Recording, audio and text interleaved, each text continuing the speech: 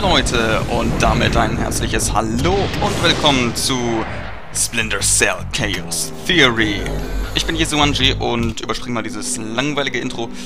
Ähm, ja, wir spielen Splinter Cell Chaos Theory. Ich hab's zum Laufen gebracht und das auf Windows 7. Ich bin unglaublich stolz auf mich. Denn das Spiel ist ja eigentlich nicht mal für Vista ausgelegt, obwohl es auf Vista meines Wissens sogar noch läuft. Ihr seht auch, das Spiel ist relativ alt, also nicht auf 16 zu 9 ausgelegt, aber das soll uns nicht aufhalten. Bitte fragt mich nicht, wie ich es geschafft habe, das Spiel äh, auf Windows 7 zum Laufen zu bringen. Ich habe da im gesamten Install-Ordner alle Dateien irgendwie rumgeschoben, ersetzt durch irgendwelche Cracks und sonst irgendwas, damit das Spiel irgendwie läuft. Also ich darf das jetzt nie wieder deinstallieren, sonst kriege ich das nie wieder zum Laufen. Und ich würde sagen, wir fangen einfach mal an.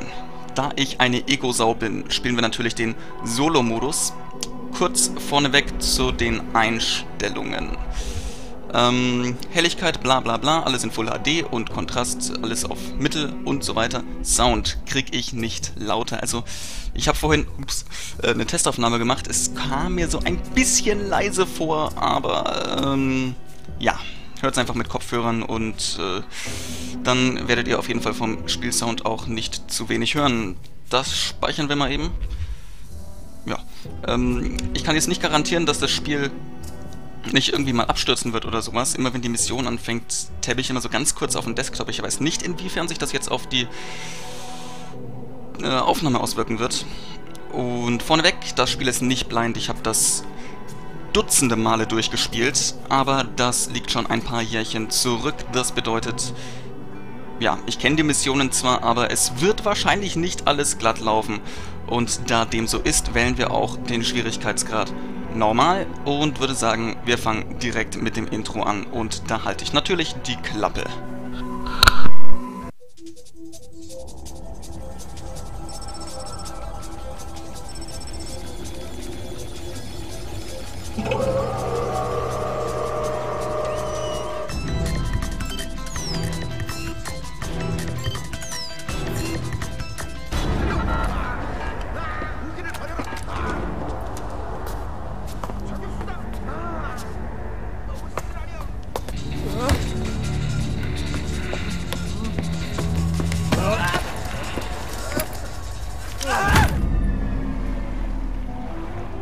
Aus wie ein chinesischer Yang Wei-Kreuzer mit nordkoreanischer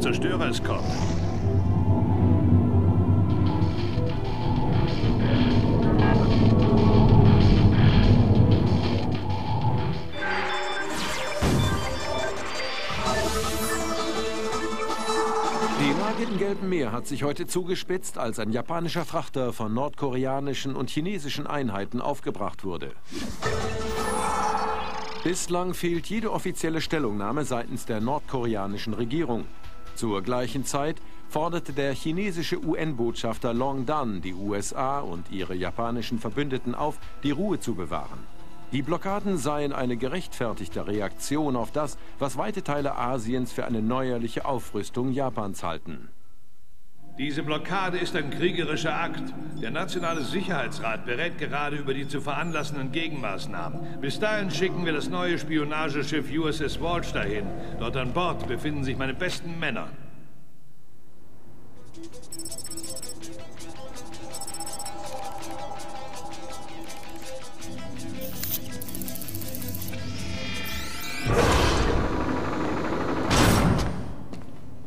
Sieh mal einer an. Die Chinesen und die Nordkoreaner arbeiten wieder mal zusammen. Wie wir es vermutet hatten. Ist das Ding da ein 056-Prototyp? Ja, ganz genau. Und, bist du noch seefest? Ja, ich glaube schon. Gut. Der 056-Prototyp ist nämlich nicht die einzige Neuheit, die es da draußen gibt. Admiral Otomo, Befehlshaber der neu gegründeten japanischen Kräfte für Cyberkriegsführung, sagte dazu, Dies ist nur ein weiterer Versuch Chinas und Nordkoreas, unsere Wirtschaft in den Abgrund zu treiben. Das japanische Volk ruft seine Verbündeten dazu auf, sich an ihre Zusagen zu halten und uns im Kampf gegen unseren gemeinsamen Feind zur Seite zu stehen. Ich hoffe, dass unsere Verbündeten schnell handeln und alles ihnen Mögliche unternehmen werden, um Japan und seine Grenzen nach Fakt außen... ist, dass große Teile der asiatischen Bevölkerungen die Bildung der Sonderkräfte für Cyberkriegsführung für einen Bruch der Waffenstillstandsvereinbarungen halten, die nach dem Zweiten Weltkrieg abgeschlossen wurden. In Asien erinnern sich noch viele mit Schrecken an die Unterdrückung durch Japan.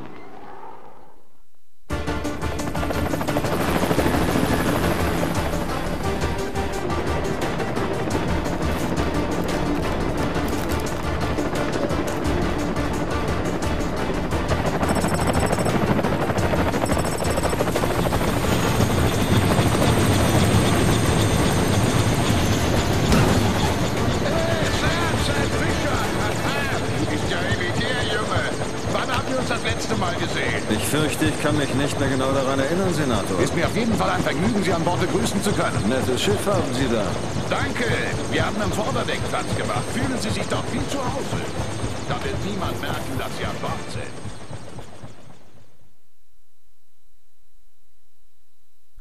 Ja, das war das Intro von Splinter Cell Chaos Theory. Wir sind am Leuchtturm von Punta Blanco außerhalb von Talara, Peru. Bruce Morgenhold wurde von einer peruanischen Separatistengruppe entführt, die als die Stimme des Volkes bekannt ist. Morgenholds Wissen über die gefährlichen Computeralgorithmen, äh, über die gefährlichen Computeralgorithmen, um den Text einfach mal so anzupassen, dass er mir passt, darf nicht in die Hände der Stimme des Volkes oder die ihres Anführers Hugo Lacerda fallen. Fischer, ein amerikanischer Ingenieur namens Bruce Ja, Morgenhold. die quatschen mir jetzt hier die Ohren voll, das äh, lassen wir jetzt mal ein bisschen außen vor. Das ist Douglas Shetland, den kennen wir noch aus äh, Splinter Cell, Pandora Tomorrow und Splinter Cell 1 kommt da glaube ich auch vor, wenn ihr die Dinger gespielt habt. So, jetzt habe ich hier die Auswahl aus drei Ausrüstungskonfigurationen. Einmal Reddings Überraschungspaket, einmal das Duckenpaket, also voll auf Stealth und einmal das Angriffspaket. Aber weil wir natürlich immer gute Wertungen haben wollen, nehmen wir Reddings Wundertüte und fangen direkt an.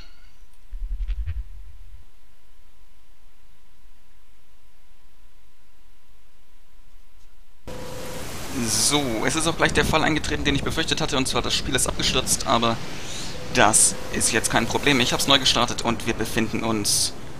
Äh, wo waren wir? Peru? Keine Ahnung. Und wir haben Sam Fisher im, wie ich gerade mal erwähnen möchte, besten Splinter Cell Spiel, das jemals entwickelt wurde. Spielen wir unseren geliebten Sam. Ich bin ein unglaublicher Fan dieses Spiels, muss ich hier einfach mal betonen. Und kurz zur Erklärung des HUD-Menüs. Rechts oben unsere Lebensanzeige. Rechts unten haben wir oben unseren Sichtbarkeitsregler. Also wenn wir hier im Schatten sind, ist er ganz links, das heißt wir sind im Schatten. Wenn wir hier im Licht sind, geht er ein bisschen mehr in die Mitte, das heißt wir sind sichtbar. Wenn ich mich recht erinnere, ist der Regler, wenn er im ganz untersten Segment ist, ähm, für uns also unsichtbar. Das bedeutet, die Gegner können uns nicht sehen. Sobald er zum Beispiel jetzt in diesem Segment wäre, sind wir sichtbar. Gleiches gilt für die Lautstärkeanzeige. Da seht ihr dieses kleine Kästchen, das sind die Umgebungsgeräusche. Und sobald unsere Bewegungsgeräusche darüber hinausgehen, sind wir für die Gegner zu hören. Gut, was haben wir hier noch? Unser Inventar. Haftschocker. Die wählen wir mal aus und ganz gewöhnlich Nachtsicht, Wärmesicht und Elektrowellensicht. Da sehe ich doch schon Elektrowellen. Lampe, natürlich. Okay, gut. Dann würde ich sagen, fangen wir an. Okay, C-Taste war aufstehen und hinducken. Shift springen, wunderbar. Okay, dann schauen wir doch mal, was es hier zu tun gibt. Soweit ich weiß, müssen wir Bruce Morgenhold hier retten, um seine Algorithmen zu sichern, dass die nicht irgendwelchen bösen Jungs in die Hände fallen.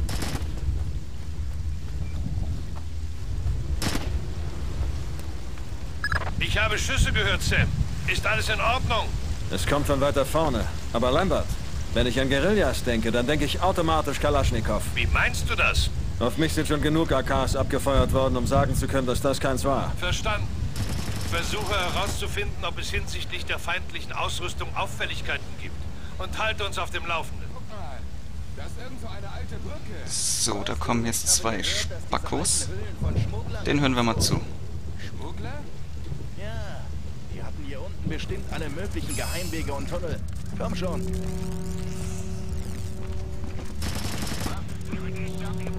Ah, sei vorsichtig.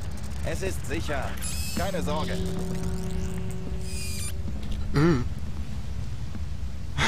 Ich sollte mich vielleicht ein bisschen verstecken. Wäre vielleicht gar nicht dumm. Obwohl wir hier komplett im Schatten sind. Ach, wie konnte ich denn nochmal mein Offset aufrufen? F1? Ah, tatsächlich. Wo gehst du hin? Pass auf. Das sieht mir nicht gerade sicher aus. Sei kein Narr. Solche alten Höhlen sind gefährlich. Ich gehe keinen Schritt weiter. Schön. Mach, was du willst. Okay, gut. Ich finde mich zurecht. Ich werde dann mal zurückgehen. Okay. Ich werde hier bleiben. Genieße die Aussicht. Ja, tu das. In dem Spiel ist es gut, wenn man ab und zu mal ein bisschen wartet, nicht so wie in Conviction, wo man die ganze Zeit "Huh, durchrennen, töten und alles so weiter und so fort. Hier einfach mal warten, dann gehen die Penner von selbst. Und jetzt schleiche ich mich an dich ran und halt dir ein Messer an die Kehle. Ha, ha, ha. Hallo. Hat dir keiner gesagt, dass es gefährlich ist, sich in Höhlen herumzutreiben? Oh nein, Sie werden mich töten, nicht wahr? Nur wenn du es schaffst, dass sich meine Laune nicht weiter verschlechtert. Und jetzt sag mir, was ich wissen will. Oh, Munition oder Erste-Hilfe-Ausrüstung. Schauen Sie in der Festung nach. Die haben da drin Unmengen von dem Zeug. Mann, ihr seid wirklich hilfsbereit. Warum müsst ihr nur für die bösen Jungs arbeiten? Sie sind der amerikanische Unterdrücker. Sie sind der Böse. Willst du, dass sich meine Laune verschlechtert? Was? Nein. Dann ist dieses Gespräch beendet. Und das ist schon einer der Gründe, wieso ich dieses Spiel so sehr liebe. Und zwar die Verhöre. Fischer hat's einfach davon. Schaut euch, oh, schaut euch das an. Warte mal, wir gehen mal irgendwo ins Licht. Der ist ja gerade nicht da, okay. Und das müsst ihr euch geben. Boah, die Augen. Wie, wie Fischer guckt. Alter. Der Mann ist im Tod geweiht. Nee, aber es gibt ja tatsächlich eine bessere Punktzahl, wenn wir so wenig Gegner wie möglich töten. Am Ende in der Dingsbums-Bewertung, in der Missionsbewertung. Und das bedeutet, wir betäuben dich nur und schaffen dich aus dem Weg. Hui! Oh, habe ich ihn umgebracht? Das kann man ja ganz leicht feststellen. Ich habe ihn umgebracht. Verdammt. Okay, gut. Können wir nichts machen. I, und seht ihr das? das? Das Bild zerreißt so ein bisschen in der Mitte. Ich weiß nicht, ob ihr das seht oder ob das in der Aufnahme rauskommt. Ich gucke mal, ob es da ein paar Einstellungen gibt. Ich hatte auch eben so ein paar kleine Frame Drops und das fand ich ein bisschen schei schade. V-Sync ist aus. Oh mein Gott. Das müssen wir ändern. Äh, oh Gott, hoffentlich stürzt mich das Spiel nicht ab. Wartet mal. Wir speichern lieber vorher mal. So, jetzt können wir es ändern. Einstellungen äh, erweitert. Virtuelle Synchronisation. Vielleicht schaffe ich es dann nicht mehr mit 60 Frames aufzunehmen. Mal gucken. Bitte stürz nicht ab. Du bist abgestürzt. Bis gleich. So, da sind wir wieder. Glücklicherweise muss ich ja alle Einstellungen immer neu machen, wenn ich das Spiel neu starte, beziehungsweise wenn es abgestürzt ist und ich es dann neu starte. Aber daran sollen wir uns jetzt nicht aufhalten. Wir gehen nicht über die Brücke, sondern den geheimen Weg. Und der führt hier unten entlang. Objekt. Ach so, bloß ein Stein. Gott. So, okay. Erste Hilfeausrüstung suchen Sie in der Festung danach. So, jetzt zeige ich euch mal das Praktische an meiner SC-Pistole. Cool, ne? Das Geile ist halt, dass es nach einer Zeit wieder angeht, aber hier hätten wir es eh nicht gebraucht. So, wir gehen mal hier die Leiter hoch. Und gucken uns mal um.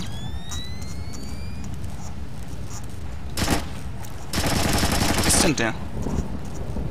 Ach, da bist du. Hallo, Kumpel. Ich glaube, du hattest recht, was ihre Waffen anging, Sam. Ja, wir haben hier eine nette kleine Sammlung Hightech-Equipment. Du musst herausfinden, woher es stammt. Sieh nach, ob sich an den Kisten SSCC-Strichcodes befinden. Und scanne sie mit deinem EEV. Oh oh. Krieg ich dich?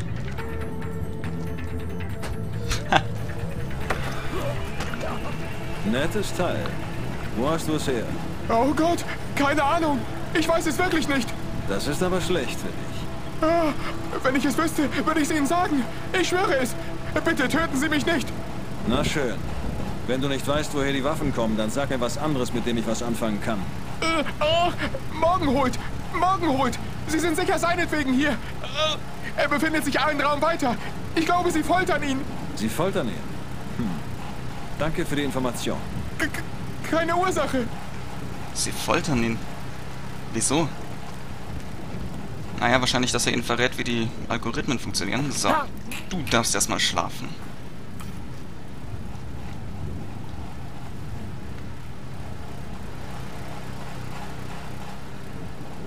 Okay.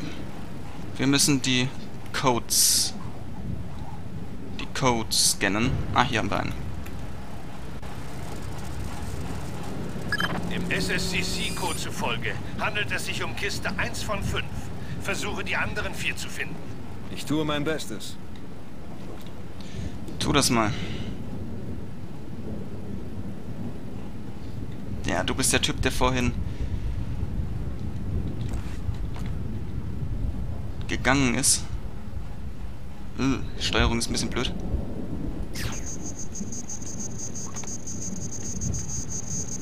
Ja, das hast du nicht gemerkt da oben. Okay. Was ist das? Ach, du hast es doch gemerkt. Oder?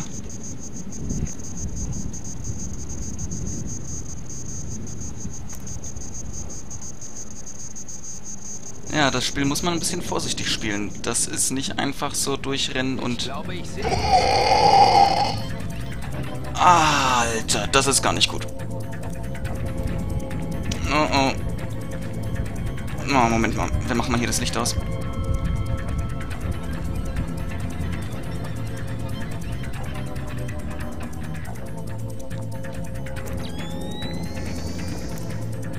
Wo bist du?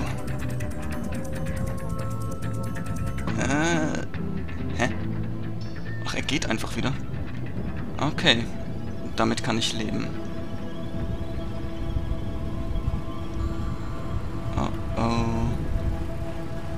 Mein Gott.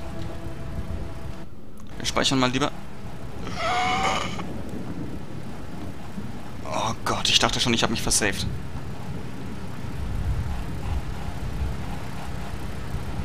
Na komm, du siehst mich nicht und meinen Schatten auch nicht. Und du bist dumm wie Brot. Deswegen darfst du dich mal hier hinlegen und eine Runde schlafen.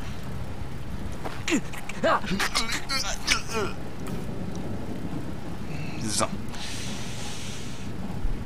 Alles mögliche abgeklemmt und abgedrückt und Kiste scannen. Und weiter. So, haben wir hier noch irgendwas Interessantes? Irgendwelche Kisten zum Scannen oder so? Nö, bloß irgendwelche Objekte, die keine Sau interessieren. Dann gehen wir.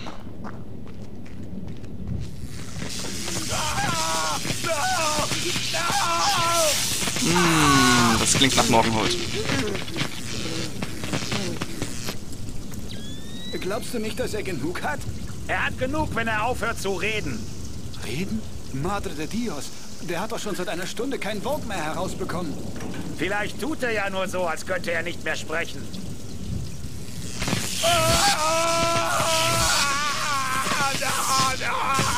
Oh mein Gott.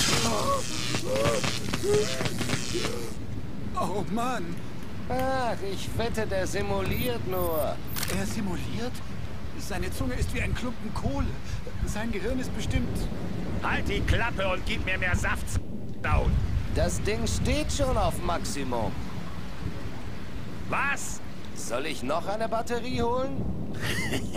Na, was sagst du, mein Freund? Willst du noch eine Batterie? Eine schöne neue Batterie? Hä? Hä? Moment mal. Ist der etwa... Seine Ohren. Da kommt Rauch raus. Ich glaube, mir wird schlecht. Ich glaube, er ist tot. Hm. Es gibt nur einen Weg, das herauszufinden. Ich gehe mal eben raus. Boah. Das nenne ich Guerilla-Kriegsführung. Wir schocken die Toten. Die, to die Toten. Ja, so, da ich ja zum Glück weiß, wie ihr lauft, weiß ich auch, dass du hier hochgehst. Was ist das da drüben? Hä? Ach du Scheiße, wie kann man es nur so versauen? Oh nein. Okay, okay, okay, okay. Jetzt muss es schnell gehen. Komm, komm, komm, komm, komm. Oh,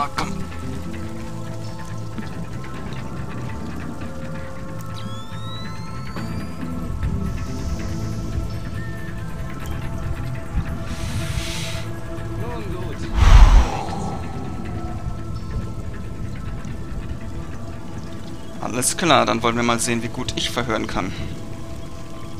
Ich kann dich schon jetzt nicht leiden. Mach es nicht noch schlimmer für dich. Wer... wer sind Sie? Halt die Klappe. Warum hast du Morgenhaut gefoltert? Lacerda hat uns den Auftrag gegeben. Warum? Was will er wissen? Irgendwas Mathematisches. Oh, Programmierzeugs. Ich habe keine Ahnung davon. Du bist also einfach nur ein dummer Kerl, der Leuten gerne wehtut. Äh, ja, genau. Fällt dir irgendein Grund ein, warum die Welt ohne dich kein besserer Ort wäre? Ähm, bitte, ich... Hatte ich auch nicht erwartet. Hm. So kann's gehen. Medikit brauchen wir nicht. Wir sind unglaublich gute Ass Assassins, wollte ich schon gerade sagen. Nein, ein unglaublich guter Spion. Spion. Das spricht man seit neuestem mit SP, nicht mit SP. Na egal. Wenn der Kerl da drüben zu seinem üblichen Tagewerk übergegangen ist, dann sollte der eigentlich jetzt da am Schreibtisch hocken und ein Buch bewundern.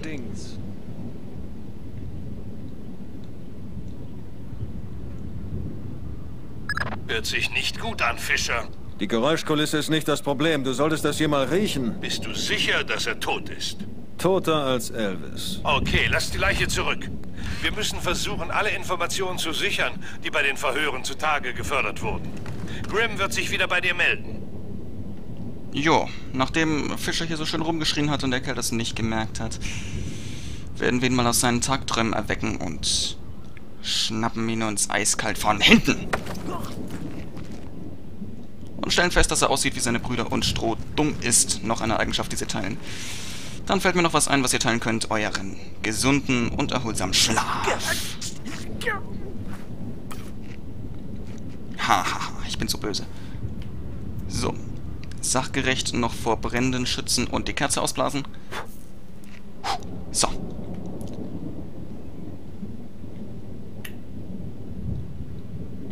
Fischer! Ich sagte, du sollst die Leiche zurücklassen. Wir haben nicht die Möglichkeit, sie da herauszuholen. Nur weil er tot ist, heißt das noch lange nicht, dass ich ihn hier wie ein Stück Fleisch hängen lassen muss. Verliere jetzt bloß nicht die Distanz zum Geschehen, Fischer. Du musst einen klaren Kopf behalten. Es wird uns ja wohl noch Zeit für ein wenig Würde bleiben. Sehe ich ganz genauso. So, speichern das A und O in dem Spiel. Das wird euch öfter begegnen in dem Let's Play, dass ich äh, speichere. Wir müssen sicherstellen, dass was auch immer Morgenholt Ihnen über Messis Algorithmen verraten haben mag, diesen Ort niemals verlassen wird.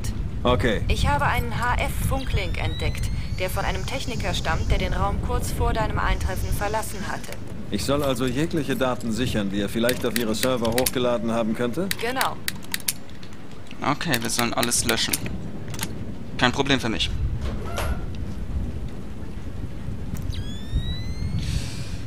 Okay, wo versteckt ihr euch? Da sehe ich schon einen. Mir fällt auf, ich habe ein paar Kisten, glaube ich, schon übersehen zum Scannen. Na egal. Wie es aussieht, haben sich die Guerilleros nicht auf einen längeren Aufenthalt eingerichtet. Es ist äußerst unwahrscheinlich, dass sie ein Alarmsystem installiert haben. Gut. Das bedeutet leichtere Arbeit für uns. Oh, oh, oh, oh, nein, du gehst nicht. Du gehst nicht. Du wirst nicht gehen. Sag ich doch. Hm, schöner Bart und schöne Brille. Hey, du siehst wichtig aus. Ich halte mich strikt an meine Vorschriften. Von mir erfahren Sie nichts. Wirklich? Hm. Sieht so aus, als hättest du heute Morgen vergessen, dich zu rasieren. Lass mich dir ein wenig helfen. Ha! Sie können nicht... Ey! Was tun Sie da? Okay, okay. Was wollen Sie wissen? Ich suche Lacerda. Er hat sich in letzter Zeit sehr schlecht benommen. Tja, dann verschwenden Sie Ihre Zeit, Amerikaner. Er ist vor einer Stunde in einem Boot weggefahren. Er könnte jetzt überall sein. Dann werde ich ihm wohl folgen müssen. Keine Sorge, er wird nicht entkommen. Da habe ich absolut keine Zweifel. Ja. Viel Spaß beim Schwimmen. Ah, viel Spaß beim Schlafen, träumen was Schönes. Jetzt wissen wir es wohl mit Sicherheit, Fischer. Ja, scheint, als wäre Lacerda schon lange weg. Wir werden versuchen, ihn durch Echelon aufzuspüren. Mach dir um ihn keine Gedanken. Nun, wir halten dich auf dem Laufenden. Es sind nun bereits mehrere Stunden ja, ich bitte darum. seit der Kontakt zur ISS abgebrochen ist. Ursache für die Störung scheint neuesten Spekulationen zufolge der Zusammenstoß mit einem Mikrometeor gewesen zu sein. Vertreter der NASA überprüfen zurzeit die Theorie, dass es Trümmerstücke vorheriger Raummissionen gewesen sein könnten, die zu der Havarie führten. Bisher konnten die Wissenschaftler weder zum Shuttle noch zu den Astronauten an Bord der ISS Kontakt aufnehmen. Das finde ich ziemlich cool. Das ist so eine kleine Nebenstory, die da erzählt wird in den Radios immer. Ein Unfall auf der ISS. Wie konnte das passieren? Shit! Ich hätte ihn verstecken sollen. Aber sie haben kein Alarmsystem, hieß es doch. Moment mal, dann habe ich ein ganz klares Konzept, wie wir dieses Problem lösen. Nein, du wächst nicht auf.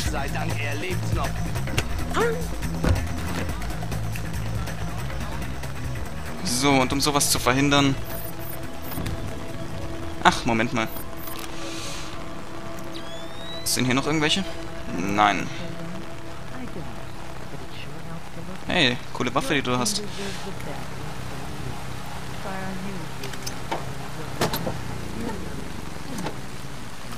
So. Problem gelöst. Kein Saft, kein Licht, kein Tralala. Entschuldigung, für die hohen Töne. Gut, dann... Ich gucke mich nur noch mal gerade ein bisschen um. Nicht, dass hier irgendwelche Kisten sind, die noch von mir gescannt werden wollen. Hui. Irgendwo konnte man hier noch hochklettern, glaube ich. Ha, sag ich's doch. Klassische Frage, jetzt mal vorne weg. Wo bin ich? Ach, bevor ich mich verlaufe, nehmen wir mal lieber den Weg, den ich immer gehe.